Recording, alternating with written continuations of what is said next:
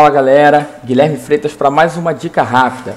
Dessa vez você vai aprender como criar zigue-zagues e ondulações de forma prática no Illustrator. Para começar, você deve criar uma linha no formato que você precisa. Ela pode ser reta, ter mais de um segmento, até mesmo ser circular. Depois de criar essa linha, você vai no menu Efeito, Distorcer e escolhe a opção Zigue-Zague. Fazendo isso, vai abrir uma janela onde você vai ter três opções principais que vão definir o formato do seu efeito.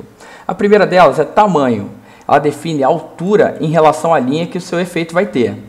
A segunda opção é arestas. Nela você define a quantidade de vezes que o efeito se repete. E a terceira, a opção pontos. Para criar um zigue-zague perfeito, basta manter a opção canto selecionada. Clicando OK, o seu efeito está pronto.